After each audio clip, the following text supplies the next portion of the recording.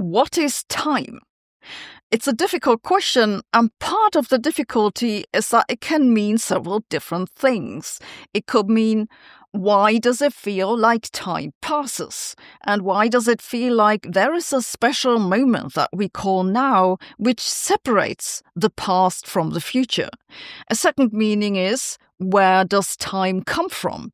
And the third, what do we even mean by time? I'll start with the third question because it's the easiest, meaning it'll only hurt your brain moderately. In physics, we use the word time in two different ways. The one refers to the role of time in Einstein's theories. Einstein taught us that time is a coordinate like space. This means that time becomes a label to order events. This time coordinate isn't uniquely fixed. You can change it just like you can change coordinates in space, where you can use, say, Euclidean or spherical coordinates you can make different choices for the time coordinate too. This doesn't actually change time, it's just a different way to describe the same thing. This coordinate time in Einstein's theory is a way to describe what happens in our universe. It isn't in any way directly related to our perception of time. The second way we use the word time is in a constructive sense.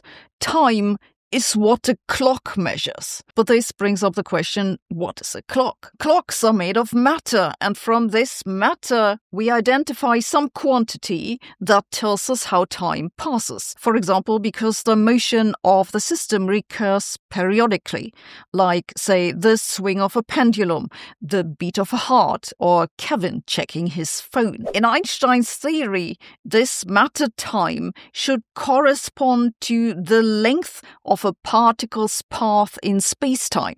It's also called the proper time. In quantum physics, actually, we don't really know what time is. Physicists have made attempts to define clocks in quantum physics to define time from that, but I think it's fair to say that there is no general agreement on how to do it. Let's then talk about the second question where does time come from? Maybe it just doesn't come from anything. Maybe time just is. It's one of the fundamental ingredients of the universe. But another possibility is that time arises from something else. We then say that time is emergent. This is why you sometimes hear physicists say time is an illusion, because it might come from something else. But what's this something else? One quite well trodden path is that time is a consequence of causality, because for causality to make sense, you need an order order in how things happen. This causality first approach has been pursued in a variety of ways in Rafael Sorkin's causal sets,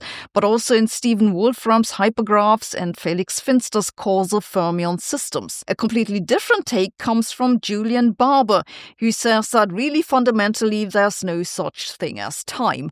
What's real is merely that the relations of particles to each other can differ, and time is the way that we order them so that it makes sense. I don't really understand this, so please don't ask. Somewhat more digestible is the idea that the universe was once a four dimensional space, and at some boundary in that space, one of the dimensions turned to time. This is what happens, for example, in the Hawking Hartle no boundary proposal. So it's quite possible that time ultimately comes from something else.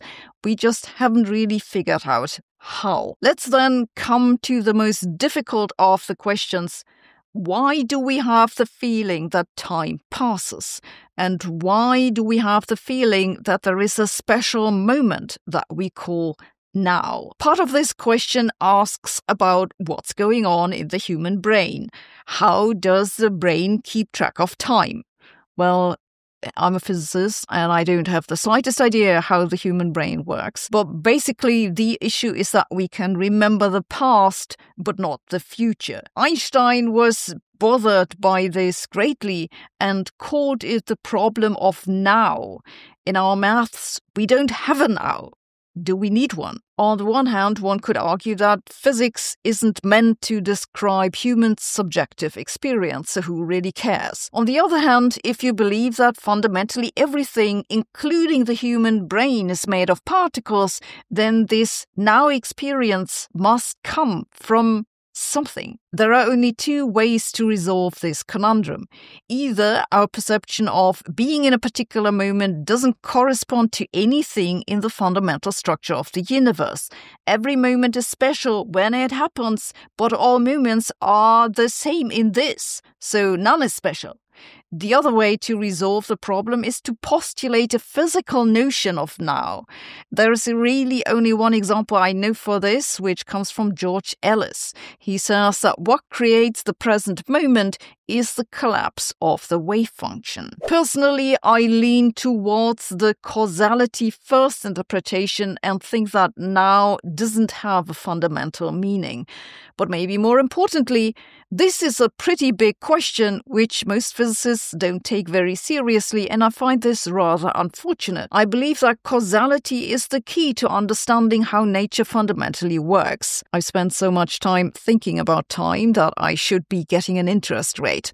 And if it's really an illusion, then it's certainly doing an amazing disappearing act. Come to think of it, though, the first key to understanding nature is clearly mathematics. And while watching YouTube videos is a great entry point, if you want to really understand something, you need to actively engage with the subject. This is why I recommend you check out the science and maths courses on Brilliant. All courses on Brilliant have interactive visualizations and come with follow up questions. What you see here is from their newly updated maths courses. No matter how abstract the topic seems, Brilliant's courses have intuitive visualizations that really click into my brain. I found it to be a highly effective way to build up knowledge, and Brilliant covers a large variety of topics in science, computer science, and maths, from general scientific thinking to dedicated dedicated courses, just what I'm interested in. And of course, I have a special offer for viewers of this channel. If you use my link brilliant.org slash Sabine or scan the QR code, you'll get 20% off the annual premium subscription. So go and check this out. Thanks for watching. See you tomorrow.